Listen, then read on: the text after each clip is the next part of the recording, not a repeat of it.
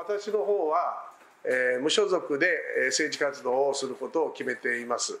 えー、私は維新には入りません、えー、私は沖縄で第三極を作りたいというふうに思ってましてオール沖縄でも自民党でもない、えー、政治をですね沖縄の中で作っていこうというふうに思っておりますから沖縄の中でまた、えー、無所属の政治活動を通してですね第三極を作ると。いうようなことをしていきたいというふうに思っています。今沖縄の政治課題で一番は普天間基地の辺野古移設問題がありますけど維新は今容認しているんですね、まあ、私が曲げ島をですね7年かけて曲げ島を国に購入させて今工事が着々と進んでいます、まあ、そういうふうなことは沖縄の基地負担軽減をやるという意味でやってきたんで一挙にここでですねあの維新の考え方の容認という立場にはそう簡単にいかないんですね、まあ、そこが大きな私の考えているポイントなんですよ。今すぐにですねこれ維新に不当とかいうような話になったらまたすぐ容認とかっていう話になる。と、まあ、そういうようなことになると自分の政治のキャリアが価値が出ないというふうに思っています。無所属が下地味教らしくていいというふうに考えてるんで彼らが私の副党への段階を作ってるみたいなことは全くありませんから。それではただいまより下地幹雄グループの日本維新の会への移籍についての記者会見を始めさせていただきます。まず下地幹雄からお話をさせていただきます。皆さんこんにちは。えー、今日は急遽ですがこうやって記者会見をさせていただきまして皆様がお越しいただいたことに、えー、心から感謝申し上げたいと思います。これちょっと配って私のですね、えー、維新からの除名の撤回の、えー、通知をいただきましてあ私どもさまざまなご意見のもとに論議をしてまいりまして今回あの私どもが一緒に政治を取り組んできたメンバーの10名の皆さんを今回維新の方に移籍をしていただくと、まあ、いうようなことについてお話し合いをしてきました、まあ、そのお話し合いをする過程の中で私たちは、えー、東間森尾県議を中心としてまあ、維新という政党がですね政党が、えー、中央の政治の中の第三極という役割を担う立場になってきましたのでこの立場を担う政党のですね中に沖縄の声をしっかりと、えー、理解していただくと、まあ、いうような意味においてはですねえー、経験豊富な東守領県議を中心としたメンバーが、えー、第三極の維新の中で、えー、沖縄の声を伝えていくと、まあ、いうようなことをしっかりとやっていくことは経営にとっても非常に大事なことだというふうに思っておりまして今回そのような決断をさせていただいたわけであります。今10名の皆さんが、えー、今日こうやってご理解いただいてえ維新に移籍をすることになっておりますが最終的にはですねこの記者会見終わってから、えー、15名ぐらいまでは広がるだろうとまあその後年末までにどれぐらいの規模になるか分かりませんが森尾県議ともどもですね30人規模までの議員の皆さんがですね維新の中に、え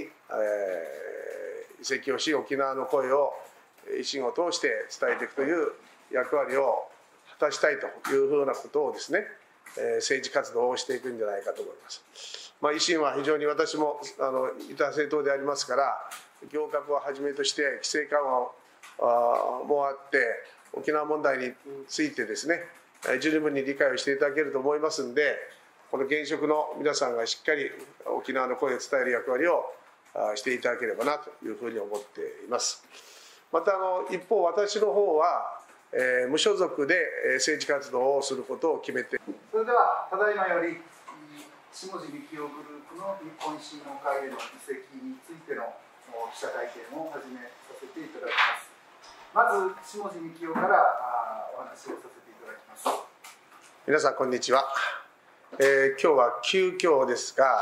こうやって記者会見をさせていただきまして皆様がお越しいただいたことに、えー、心から感謝申し上げたいと思います。これちょっと配って私のですね、えー、維新からの除名の撤回の、えー、通知をいただきましてあ私どもさまざまなご意見のもとに論議をしてまいりましてえ今回あの私どもが一緒に政治を取り組んできたメンバーの10名の皆さんを今回維新の方に移籍をしていただくと、まあ、いうようなことについてお話し合いをしてきました。まあ、そのお話し合いをする過程の中で私たちはえー、東間森尾県議を中心として、まあ、維新という政党がですね政党が、えー、中央の政治の中の第三極という役割を担う立場になってきましたのでこの立場を担う政党のですね中に沖縄の声をしっかりと、えー、理解していただくと、まあ、いうような意味においてはですねえー、経験豊富な東森尾県議を中心としたメンバーが、えー、第三極の維新の中で、えー、沖縄の声を伝えていくと、まあ、いうようなことをしっかりとやっていくことは経営にとっても非常に大事なことだというふうに思っておりまして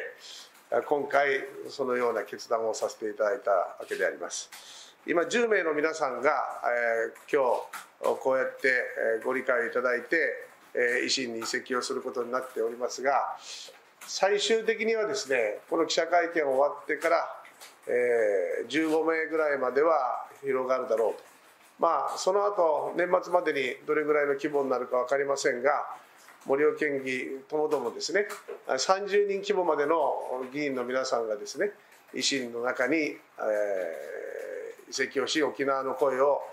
維新を通して伝えていくという役割を果たしたいというふうなことをですね、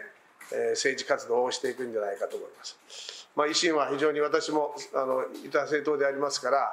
行革をはじめとして規制緩和もあって沖縄問題についてですね十分に理解をしていただけると思いますんでこの現職の皆さんがしっかり沖縄の声を伝える役割をしていただければなというふうに思っています。またあの一方私の方はえー、無所属で政治活動をすることを決めています、えー、私は維新には入りません、まあ、そういう意味でもですね、えー、私は沖縄で第三極を作りたいというふうに思ってましてオール沖縄でも自民党でもない、え政治をですね沖縄の中で作っていこうというふうに思っておりますからまあその意味においてはですね沖縄の中でまた、え無所属の政治活動を通してですね第三極を作るというようなことをしていきたいというふうに思っています。またあの維新が東京で第三極だから沖縄でも維新が県議が入れば第三極になるんじゃないかと。まあ、いうようなことをお考えになるかもしれませんが、まあ、私はまだまだ沖縄で第三極という定位置を、えー、維新がその位置にはまだないというふうに思ってましてまたあのローカル政党というかそういうふうなことの第三極がいいのではないかと考えていますんで。私は無所属での、えー、政治活動をやっていくというような形にしながら、えー、維新の会に入った皆さんともですね連携しながら維新がまたこの沖縄の中で頑張れるような役割そして私も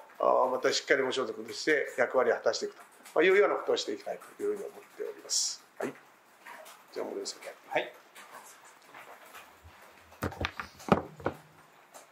では改めて皆さんこんにちは、えー、無所属の会の県議会の党までございます。あのー、今、えー、下地幹夫さんがお話しした通り、えー、そのそういう流れではあるんですが正式的な我々がこの合流するという発表はですね明日日本維新の会の沖縄総支部さんの方で、えー、3時から改めてまた記者会見ということもございますので、まあ、維新の会の総支部さんの方にですねその移籍のメンバーの発表はですね、えー、あろうかというふうに思ってますが、まあ、我々がこういう形で移りますという今日はこのあの皆さんに対する部分とそしてまた、あのー、今石森さんがお話ししたように決して我々こともたもとを分かれるとこれまでずっとあの一緒にこの沖縄で、え、第三極ということで、えー、野党でもないあの自民党でもないということでこれまでずっと政治をしてきてえー、来ましたんでこれからもですね、えー、我々があのこの日本維新の会にあの合流をするということがある。そして、えー、下地幹夫さんがあの無所属でこれからも、えー、政治的なものがあるということがあっても我々はこれからも、えー、党という立場はありますがあの沖縄にとってはですね、えー、下地幹夫さんと連携を取りながらこれからの沖縄の政治課題っていうのはあの山積しておりますので、えー、しっかりとそのことをですね、えー、また沖縄の政治課題に取り組んでいければというふうに思っておりますのでよろしくお願いいたします。まあ、維新といえばあの大阪のこの都構想をはじめあの無駄をなくすような形で財政改革もあのしている党でもありますのでそれをする中で我々も医師に関わったメンバーで主義の部分でもあのこの教育費の無償化ということをですねあのどの地域よりも一躍進めているところでもありますので、まあ、沖縄においてもこの貧困層のもうこう問題がある中で沖縄のこの教育問題っていうのはあの本当に重要課題であります。この沖縄が教育費を無償化にしていくということは大変大事な部分があるというふうに思ってますんでこの維新イズムをですねやっぱり沖縄で作っていくんだということ。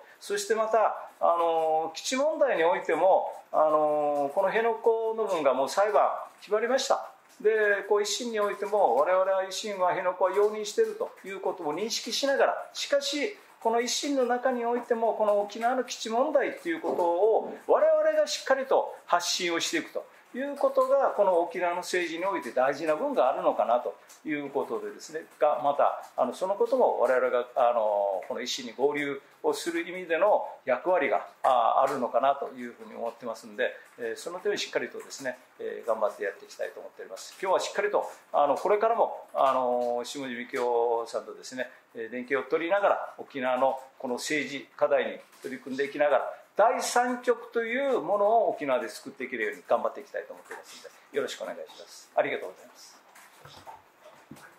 それでは、えー、質問を受け付けたいと思いますので挙手でお願いいたします。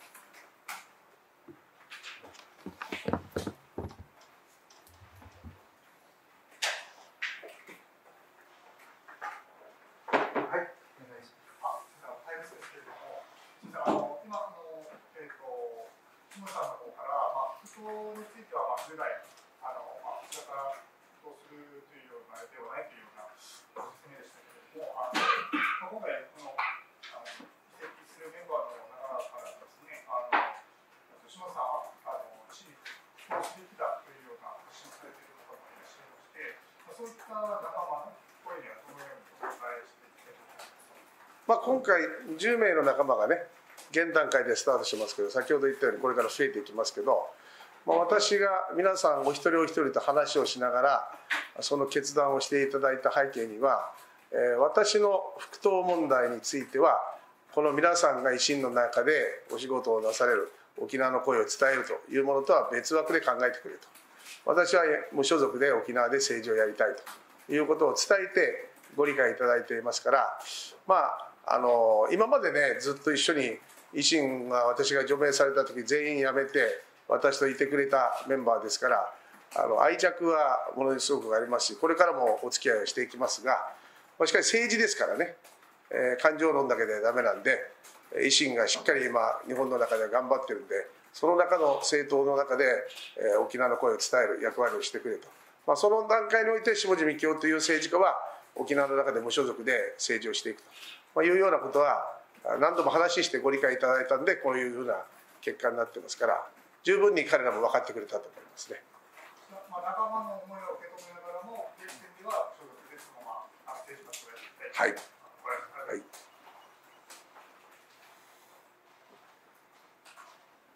次ご質問はい RBC のイラハと申します。お願いします。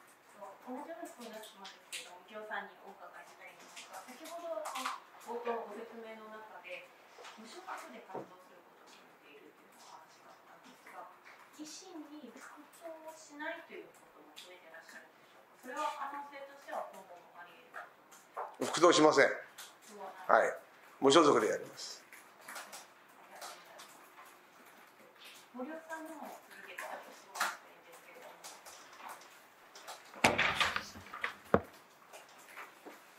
今回、復党を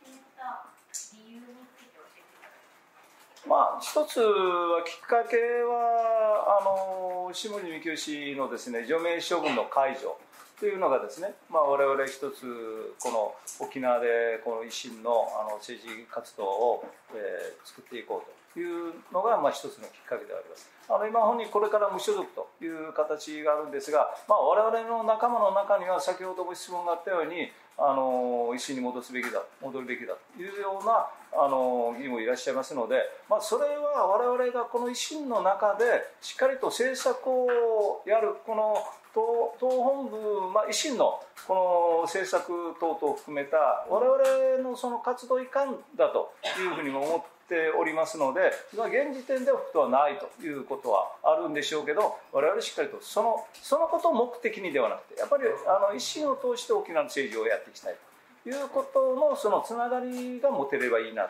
というふうな思いです。ありがとうございます。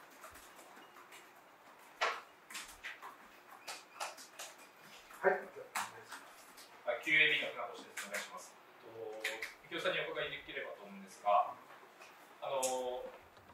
僕はそのみきおさんに近いグループの議員の方々が維新に復党する一方、あ復党とかあの戻る一方で、あのみきおさん自身は復党はしないと、まあ、あの断言されましたけれども、その中で、えっとまあ、あの協協力はし合うというお話もあったと思いますが、そのあたりのそのなんか今後の関係関係性というか、その協力の仕方っていうのがちょっと見えづらい部分があるんですが、その辺はどのような感じでしょうか。まあ私たちのお強い絆っていうのは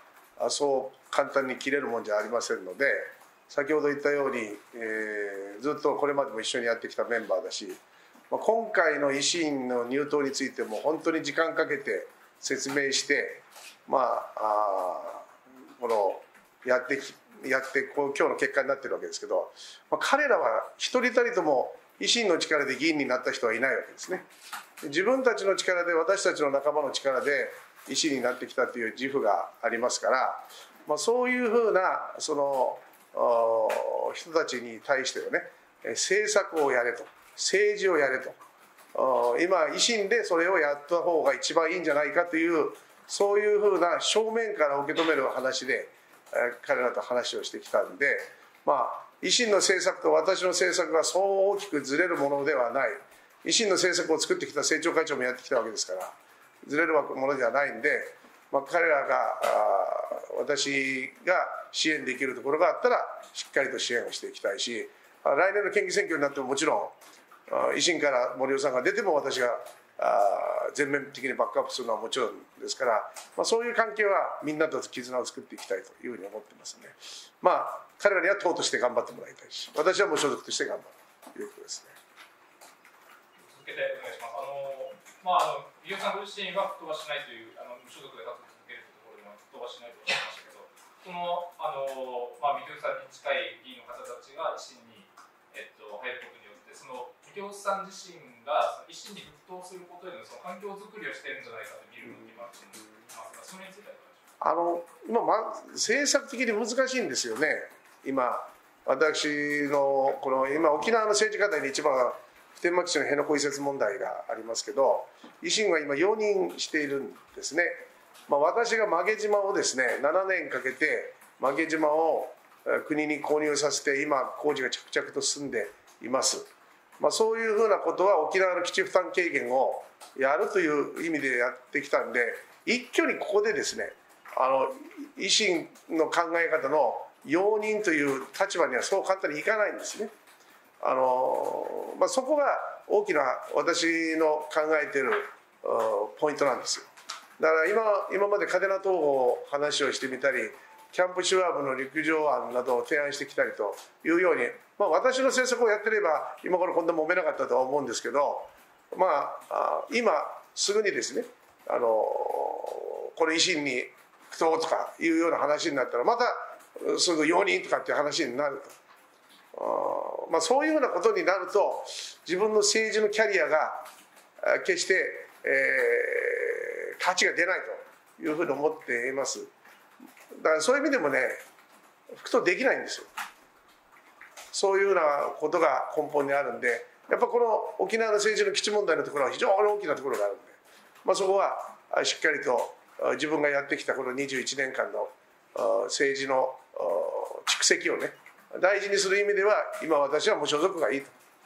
無所属が下地幹京らしくていいと。いうふうに考えてるんでまあ彼らが私の副党へのなんか段階を作ってるみたいなことは全くありませんから。そんなことは気にしないでください。最後にあの森尾さんにお伺いできればと思うんですが、あのまあ森尾さんたちは維新の方に移動されるというところで、今後あのまあいろいろ選挙も考えられる中で、まあちょっと家庭の話で恐縮なんですけど、このえっと二藤さんが出馬する選挙とにの同じ選挙区に維新の候補を立てるとなった場合、その場合そのあの応援というか協力体制はどのように考えでしょう？あのやっぱり我々私もまあそれはもう払ってこの政党という中に合流するわけですから党本部がそういう示し方ということになればやはりそれはあの党の決定事項になってくるわけでしょうから、まあ、そういうことに政党人としてはあのやっぱり党に従うというのがえー、確かですので、まあ、その中その中でこの一句においてのあの未共産の在り方ということを示すのも我々なのかなと。いうふうに思ってます。先ほどもあったように我々は単なるあのこの10名合流するメンバーはこれまでもずっと個々があの無所属で選挙を戦ってきて勝ち抜いてきているメンバーでもありますので決して今回この維新の会に合流する者がこの選挙を勝ち抜くためにあのこの維新の会に合流するということではないメンバーでもありますのでそう我々は思って、え、今回やりますのでこの一区において、まあ、維新がどういうような判断されるかっていうのもこれからも、えー、しっかりと我々もあの話し合いもしながらですね我々も汗をかきながらやっていかないといけないなと思ってますしあのなんかね、あのあったように我々が入ることがこう三京さんのこの維新に合流というようなあの布石だとかなんかそういうもの決して僕はあのこの日本維新の会ってそう甘くない組織だと思ってますんでまああの皆さんが思うような僕はあの我々を我々は逆に見られてるという認識を持ってやってます。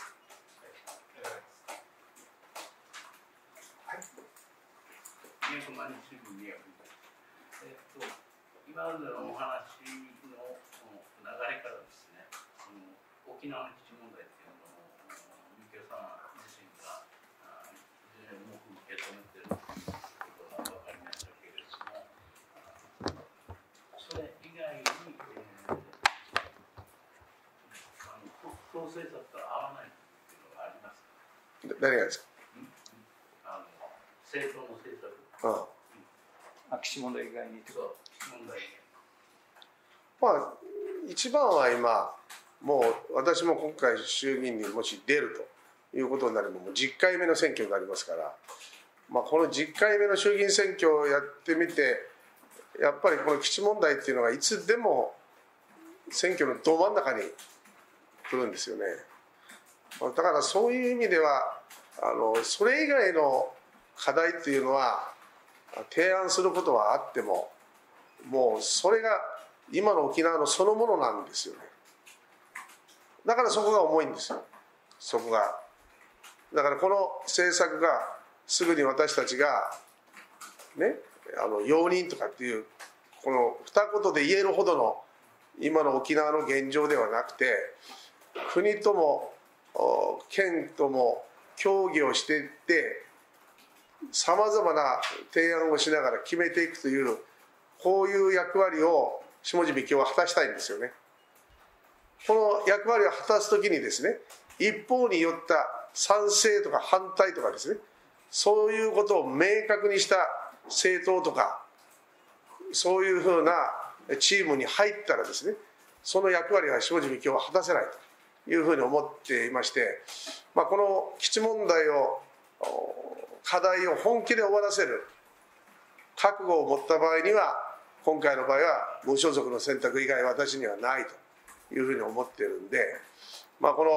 反対といっても裁判で負けてうまくいかない賛成の容認って言っても賛成してみたり反対してみたり賛成してみたりと言ってこれ、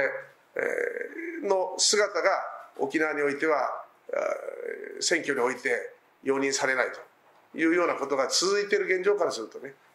あの立場を明確に無所属にして基地問題のこの国と沖縄県の協議のど真ん中に入って解決するという意味ではそれしか選択肢はないなというふうに思ってるんですよね。あのということはその基地問題があ政策政策というかその復答しないことの理由の一番の要因ということになりますか？もちろんです。これが一番、うん、でそれで、えー、みきおさんご自身はあそういう対案を、出していくという考え。で、よろしいでしょうか？必ず負け島も実際的にも整備が始まっていますしあの負け島をどう活用するかというところから沖縄の基地問題の負担軽減って始まるんでそれはもう自信持って私が取り組んできた一つの成果なんでそれと今のこの埋め立てられた場所東京ドーム8個分ぐらい埋め立てられた場所とですね普天間の在り方とか新しい提案をしなければいけない時期が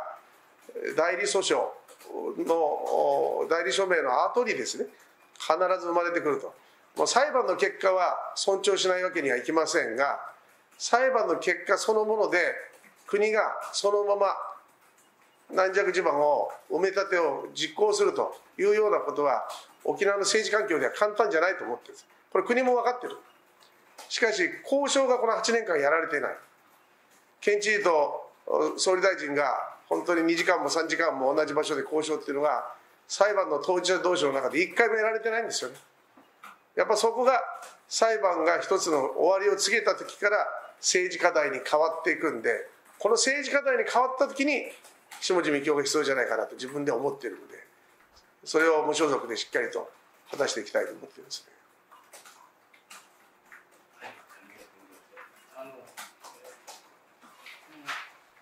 今名簿いただいたんですが県会議員では大城さんがもう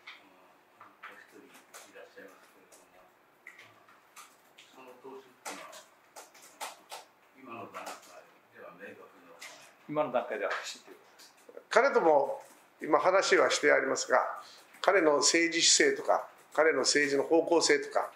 さまざまなことがまだこの維新に入るというようなところにはなっていませんしかし私は入った方がいいと思ってるんでこれからも時間かけて話はしていこうというふうに思ってます。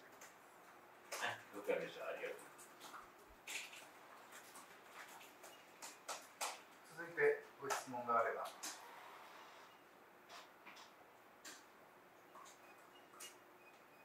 よろしいでしょうか？あ、すみません。はい。細かい確認なんですけど、今回あの10名の方、森尾さんは副党ということになると思うんですけど、残り皆さんは私所属。大体副党ですね。大体全部じゃないの？あの頃全部入ってましたから。わかりました。半々かな？いや、大体入ってる。いや、安典小前田さん。新しくじゃあ10名が副党または入党するという表現。ではい大丈夫です。あとプラスでもしあの答えられる範囲で結構なんですけど残る9人の方で来年夏の県議選に出られるというような意思表示されている方おられます。意思今からこれはもう森尾さんなんか決めていくことだと思いますはいありがとうございます。はい他にご質問ございますでしょうか。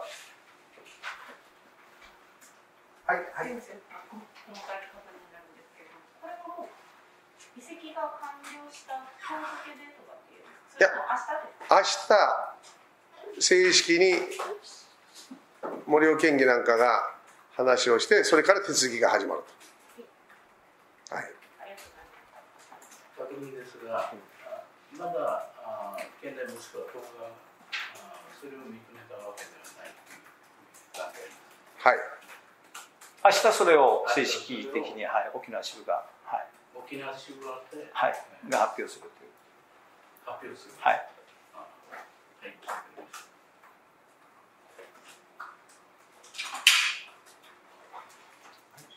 他にございますでしょうか？